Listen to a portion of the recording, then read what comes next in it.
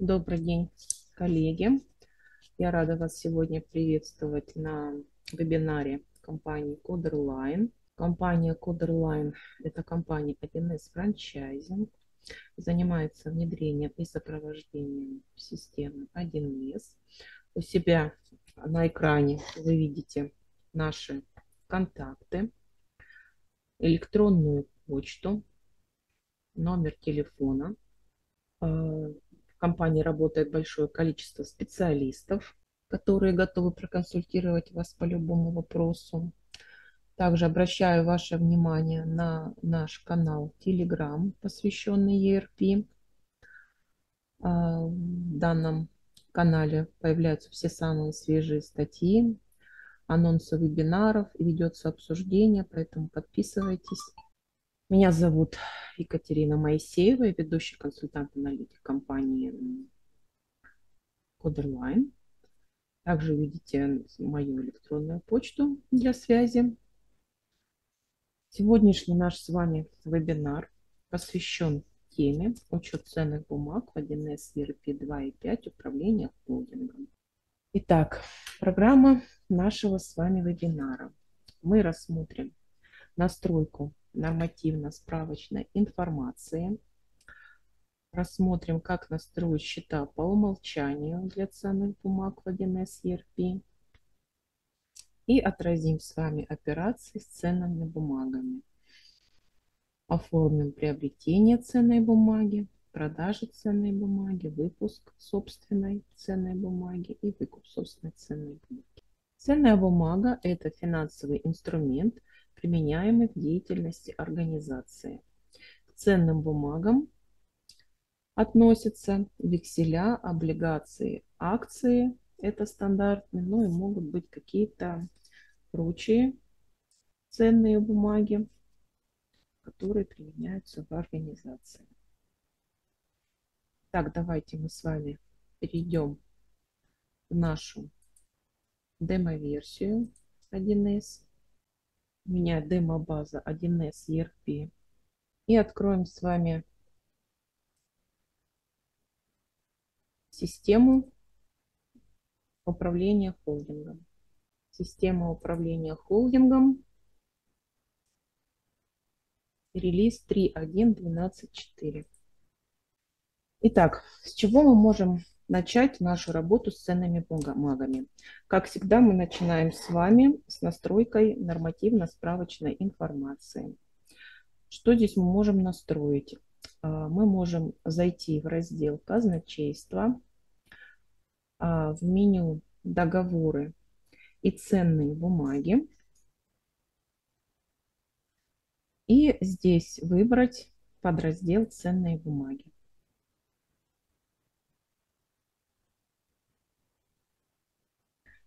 В этом разделе ведутся, указываются все ценные бумаги, которые использует ваша организация. Соответственно, для того, чтобы создать новую ценную бумагу, необходимо нажать кнопочку «Создать» и выбираем акция, облигация, вексель и прочее. Ну, выберем, например, акции. А, давайте заведем наименование.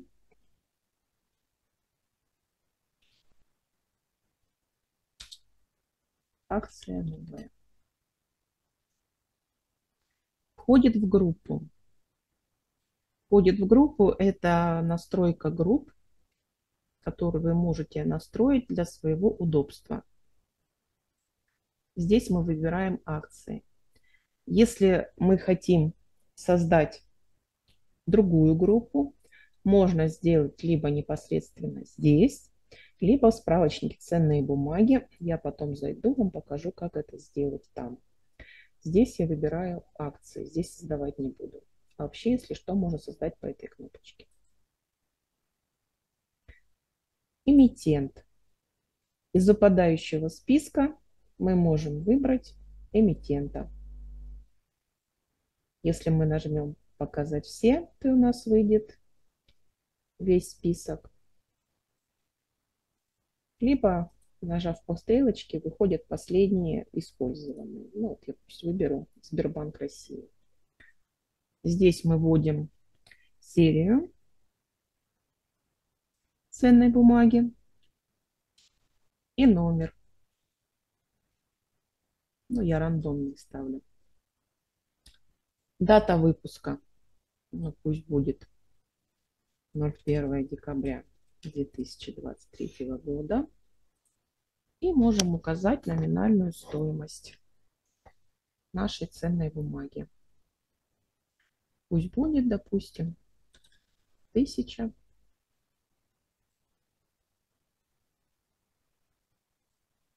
Евро.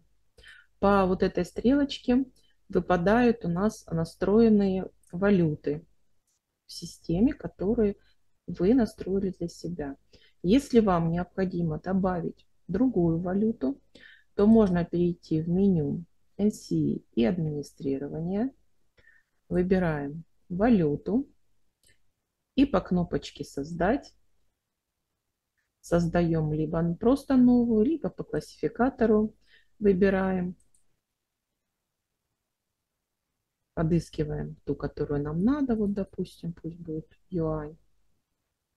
И вот у нас добавилась теперь еще одна валюта. Точно так же можем курсы валют заводить вручную, либо загружать из, из интернета. Вот здесь есть меню курсы валют. Мы можем загрузить и потом работать с этой валютой. Итак, возвращаемся в нашу акцию.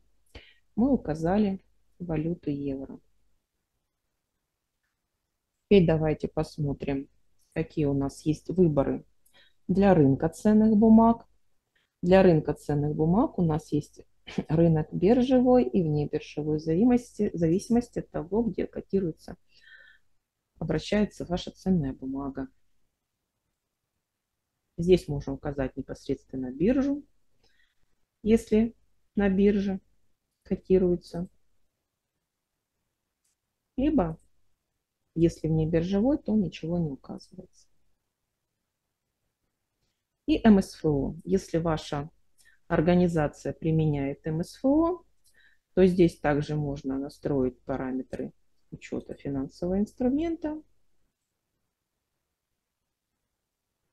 То здесь, допустим, будет выбрана там ценная бумага, параметры, которые вы создадите валюты котировки, ну и другие необходимые поля здесь можно заполнить. Нажимаем «Записать и закрыть». Вот наша акция новая добавилась. Теперь я обещала вам показать, как создать здесь группу для своего удобства работы в этом справочнике. По кнопочке «Создать группу». Можно, допустим, назвать, ну вот у нас есть закладная, можно назвать закладные. Переместим в созданную нашу группу необходимые ценные бумаги. Переместить можно по кнопочке «Переместить в группу». Нажимаем и выбираем. Итак, наша ценная бумага переместилась в необходимую нашу папочку. Также вот есть, допустим, акция привилегированная, ее можно переместить в акции.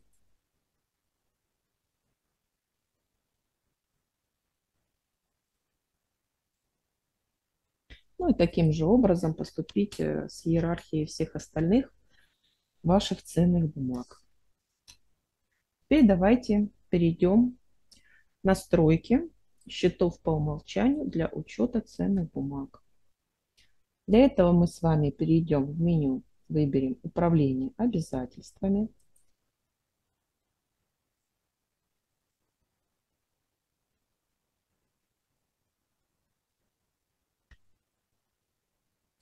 И у нас здесь есть меню «Параметры учета финансовых инструментов». Давайте в него зайдем. Именно здесь возможно настроить счета учета для определенного вида ценных бумаг. По кнопочке «Создать» мы можем выбрать вид финансового инструмента, допустим, прочие ценные бумаги, указать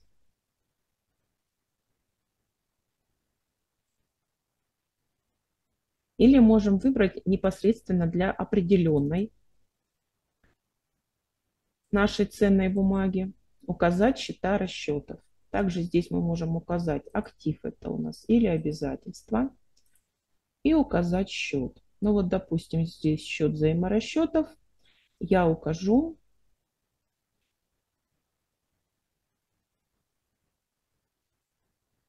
ну, допустим, 7606, расчеты с прочими покупателями и заказчиками.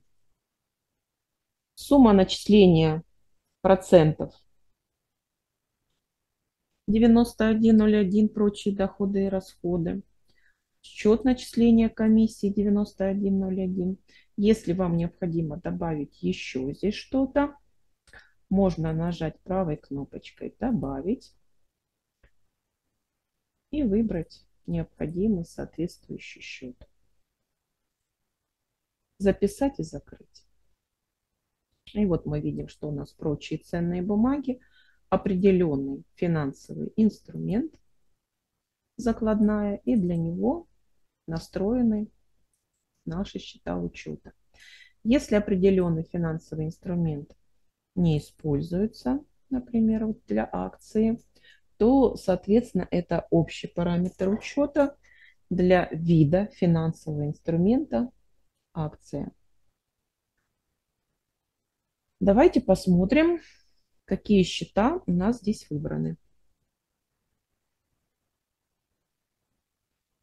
У нас здесь есть счет расхода от переоценки.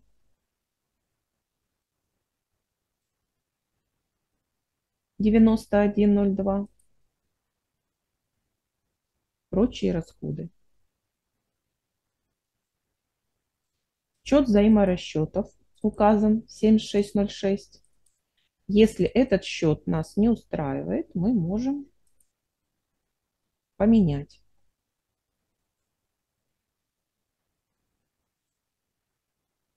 Верну обратно, как было. Также есть счет дохода от переоценки.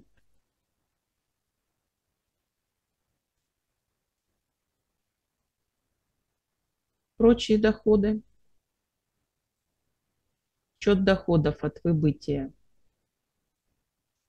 Также 9101. Счет начисления процентов.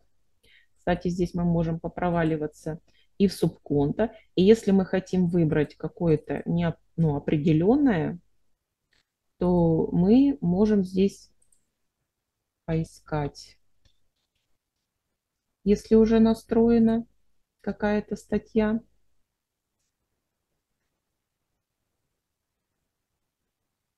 И выбрать это субконто, тогда способ отражения будет именно на это субконто.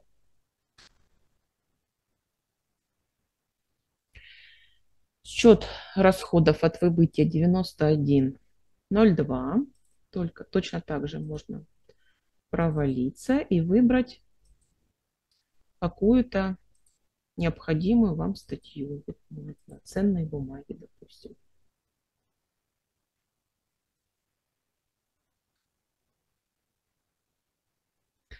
И посмотрим, что здесь у нас еще. Счет учета финансового инструмента. В данном случае выбран счет 58.012 это счет акции, относящийся к финансовым вложениям. Точно так же, если здесь что-то вам нам не хватает, можно добавить по кнопочке и указать еще какой-то необходимый нам счет, куда нужна проводка. После внесения изменений нажимаем «Записать» и «Закрыть». Давайте теперь посмотрим, какие счета у нас настроены для векселя.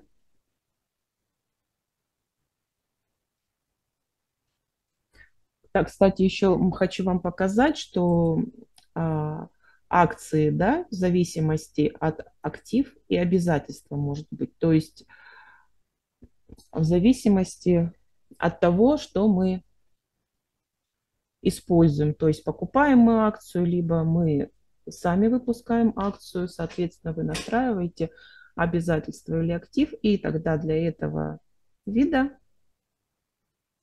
вашей деятельности настраиваете счета учета. Итак, вернемся к векселю. В данном случае у нас актив. А, счет номинала указан 008. Это за балансовый счет, который называется обеспечение обязательств и платежей полученные.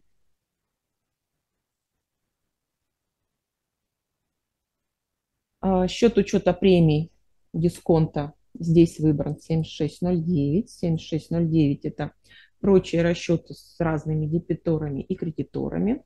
Если вам необходимо, можете выбрать другой счет, допустим, там 7606, расчеты с прочими покупателями и заказчиками, либо оставить точно так же.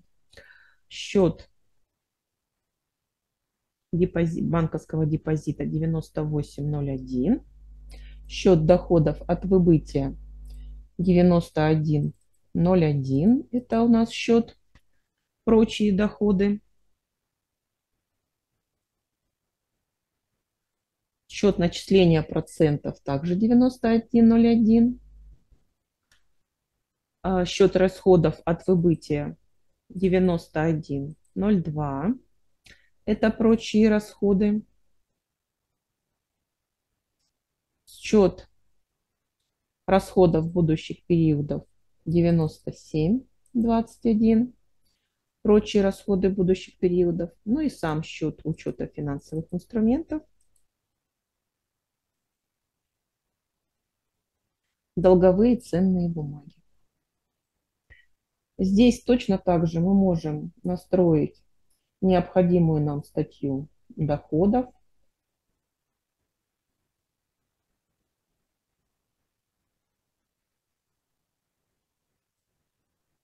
Выбрать необходимое и записать. Вексель с настройкой обязательства.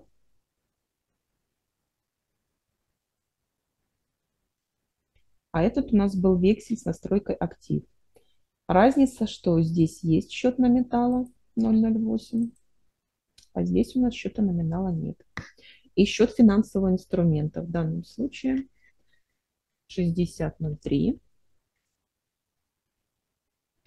Векселя выданные. То есть в данном случае, если мы выдаем вексель, то мы используем вид настройки обязательства. Счет учета премии дисконта здесь 7609. Доходы от выбытия и начисления процентов 9101. Счет расходов от выбытия 9102. И расходы будущих периодов 9721. Точно так же вам покажу, что если мы нажмем кнопочку «Финансовый инструмент», то мы можем привязать допустим, эти настройки именно к определенному заведению, заведенному нами ранее векселю в справочнике ценной бумаги.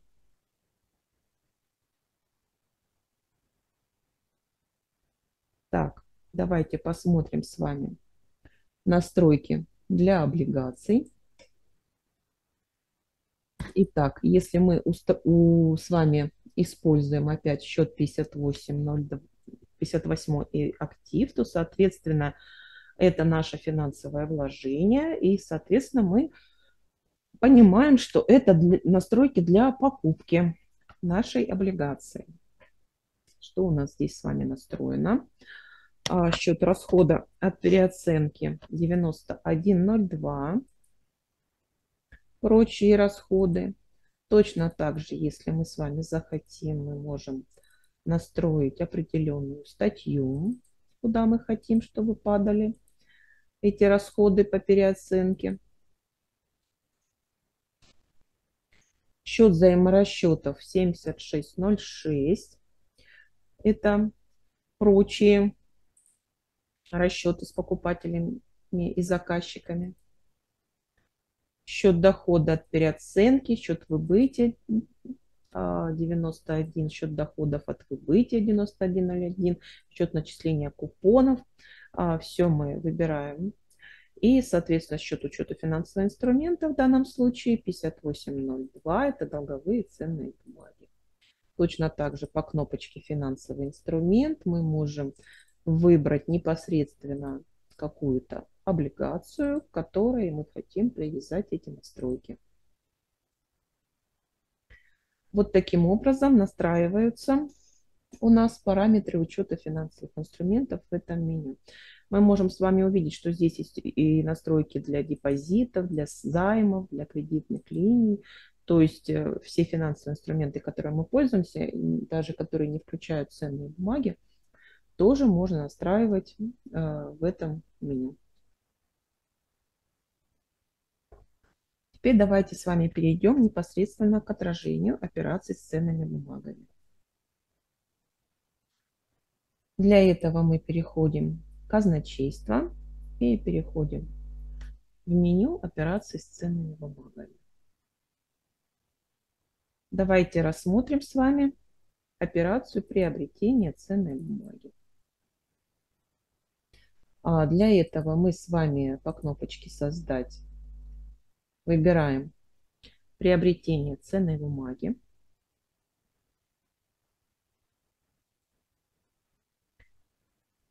Указываем дату приобретения.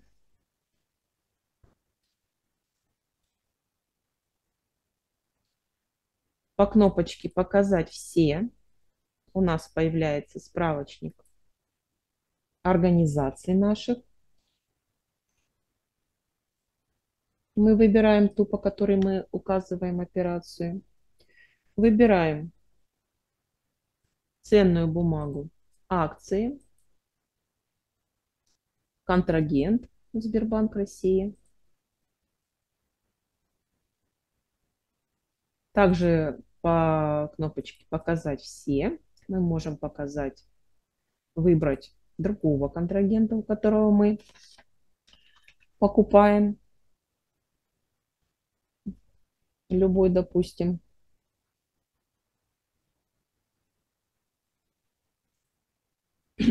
Также, если мы нажимаем, мы видим последние три используемые.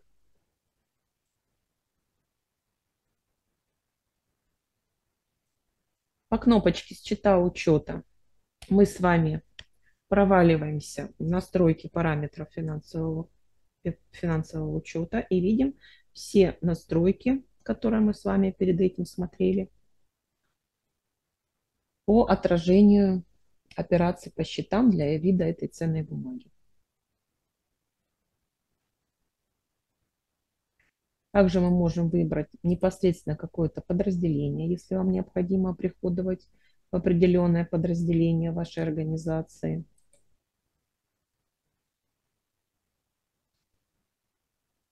выбрать определенное направление деятельности. Допустим, если у вас есть вид отдельной деятельности, финансовая деятельность, то, соответственно, вы здесь будете выбирать ваш вид финансовой деятельности.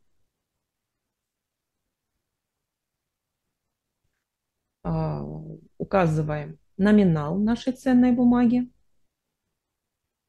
в данном случае 100 рублей.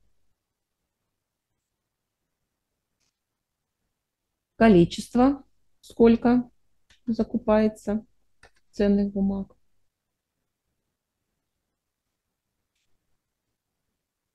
И цена приобретения. Также можем выбрать другой вид ценной бумаги, провалиться в наш, наше меню.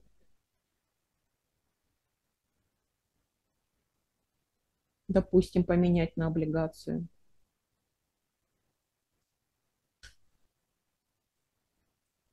Выбрать договор, который нам необходим.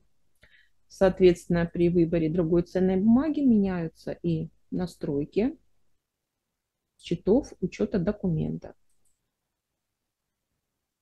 После того, как все указали, нажимаем «Провести». Нажимаем кнопочку «Дебет-кредит» и видим наши проводочки.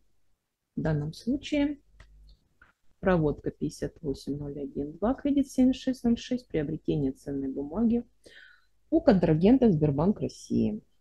Также мы видим здесь движение документа по всем регистрам.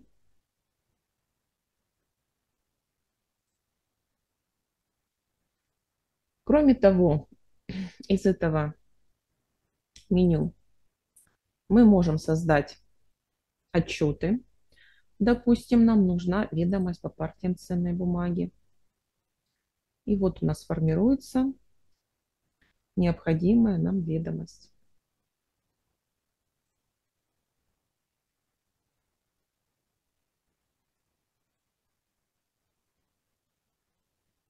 Также мы можем посмотреть взаиморасчеты по договору, график ценной бумаги, карточку ценной бумаги, расчеты с брокером. Можем посмотреть движение документа. Движение документа нам показывает движение данного документа по всем регистрам.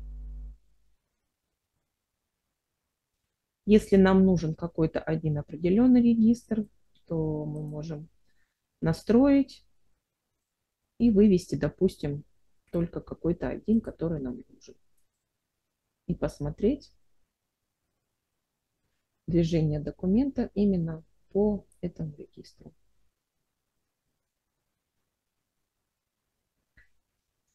Из этого документа приобретение ценной бумаги на основании этого документа мы можем сделать документ оплата ценной бумаги.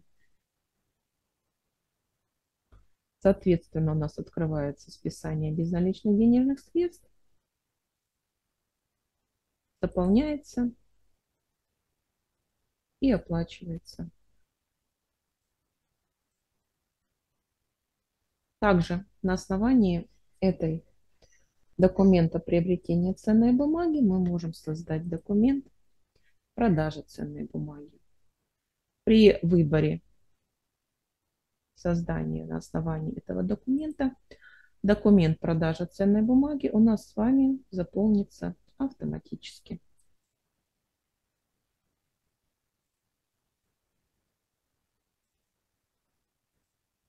Давайте с вами посмотрим подготовленный документ продажи ценной бумаги. Точно так же пройдемся по всем разделам. Итак, допустим, мы продаем нашу ценную бумагу 21 марта 2024 года, указываем организацию, в которой числится данная ценная бумага, указываем подразделение, указываем направление деятельности, указываем вид акция либо облигация, смотря что вы продаете. Указываем контрагента, которому реализуется данная ценная бумага.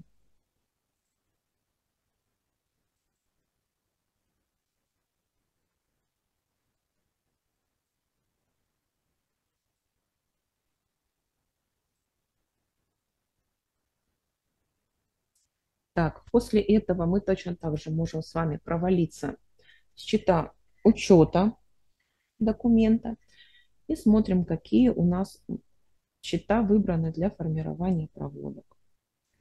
Для взаиморасчетов у нас выбран счет 7606. Расчеты с прочими покупателями и заказчиками. Эти счета, я вам напомню, мы настраивали в параметрах финансовых, финансового учета. Счет дохода от выбытия 9101 и счет расходов от выбытия 9102. Указываем номинал нашей ценной бумаги,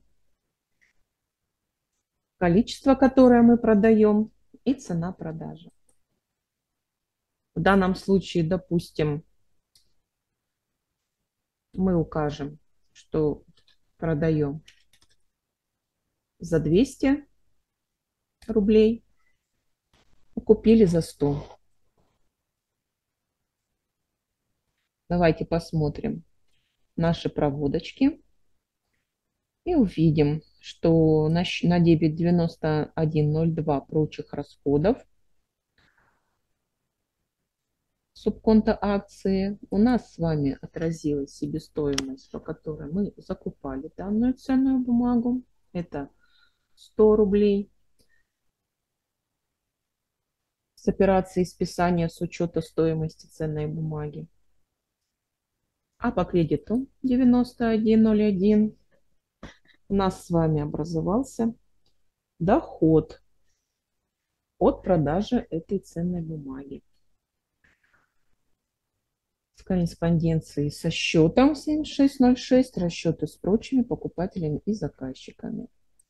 В данном случае у нас с вами 100 рублей дохода по этому виду операции. Если мы продаем с вами дешевле, чем мы купили, допустим, за 90 рублей, дешевле номинала,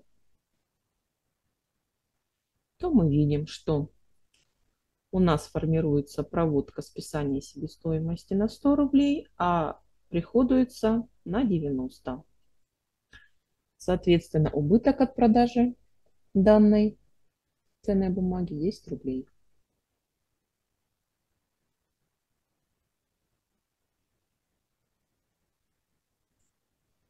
Давайте также с вами посмотрим, какие отчеты мы можем сформировать. из этого документа продажа ценной бумаги мы можем с вами посмотреть точно так же ведомость по партиям ценной бумаги. Вот мы с вами видим, видим что 21.02 у нас был приход ценной бумаги, а 21 марта у нас с вами расход. Данной ценной бумаги.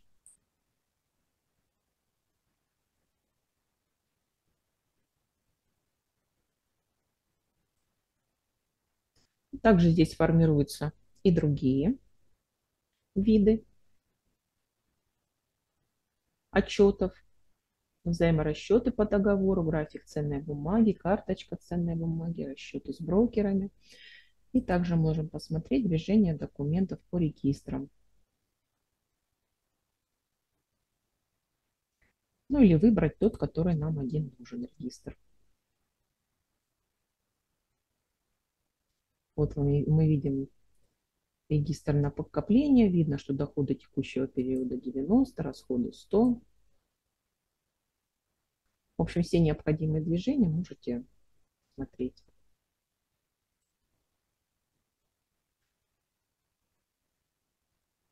по, нажав на кнопочку валюты, мы можем с вами, если, допустим, продаем не в рублях, а в другой валюты, можем провалиться в эту валюту, посмотреть курсы, тут же перейдя. Счета учета я вам показывала уже, как смотреть. И также на основании этого документа можно создать документ выкуп собственной бумаги, либо приобретение ценной бумаги.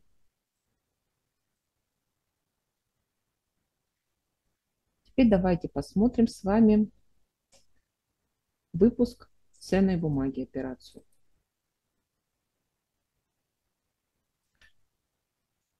Итак, мы указываем дату, которой выпускаем нашу ценную бумагу.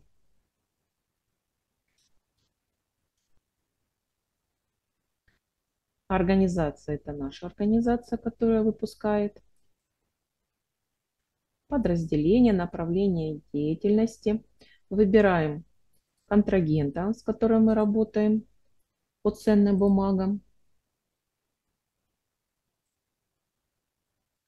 В данном случае здесь банк ВТБ договор контрагента,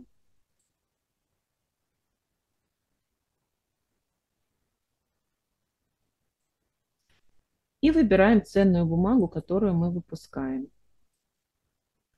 По кнопочке «Показать все» мы с вами проваливаемся в наше меню ценных бумаг, которое мы с вами создавали и выбираем необходимую нам с вами ценную бумагу. Указываем номинал 120. В данном случае евро. Также можем посмотреть необходимые нам там, курсы валют, которые настроены. Точно так же можем посмотреть отчеты аналогичные, ведомости по партиям ценных бумаг. посмотреть движение документа.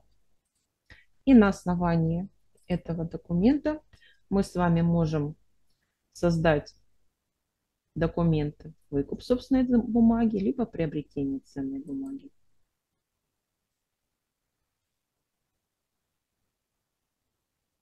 И теперь давайте посмотрим документ выкуп собственной бумаги.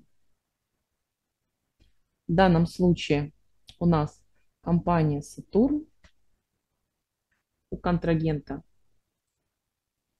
Грифон выкупает собственную закладную.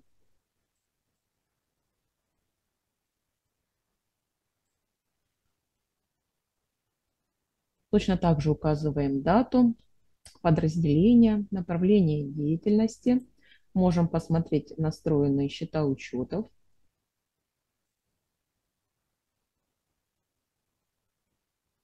указать номинал, количество. Соответственно, стоимость выкупа у нас автоматически пересчитывается.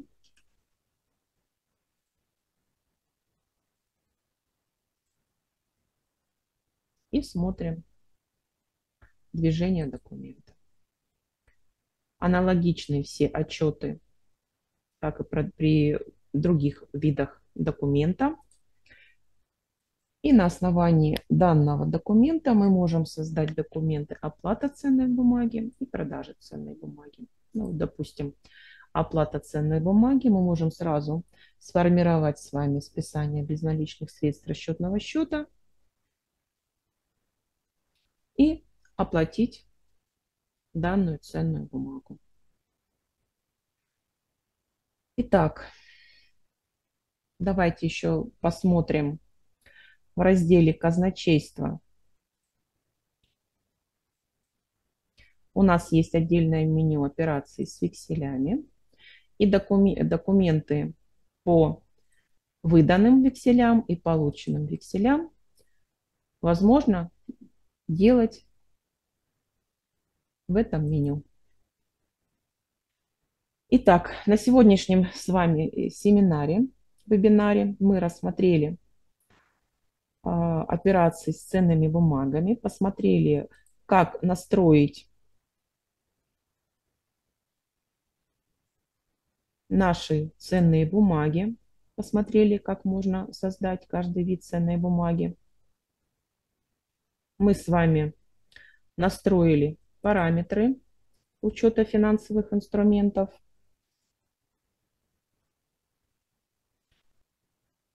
и рассмотрели с вами, как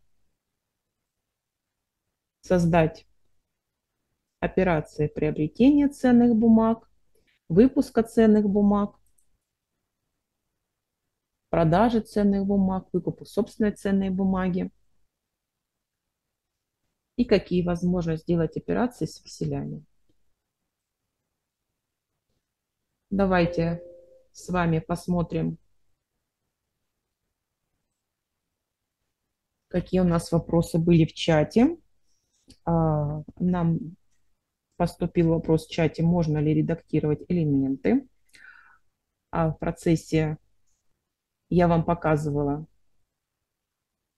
а, что редактировать мы можем параметры учета финансовых инструментов вносить изменения, но надо иметь в виду, что если в одном периоде у вас учитывалось так, допустим, был настроен этот э, вид ценной бумаги, а вы поменяете в новом периоде, то учет у вас поменяется. И также вопрос был по зачету аванса поставщику. Если был аванс предоплата, то документ формирует автоматически зачет предоплаты, за счет авансов. Итак, спасибо вам еще раз за внимание. Данный вебинар для вас проводила компания Coderline. Наши координаты вы видите, контакты у себя на экране. По любым вопросам вы можете обращаться к нашим консультантам, писать на эту электронную почту, обращаться по этому номеру телефона. Записывайтесь на наши новые вебинары. Всего доброго!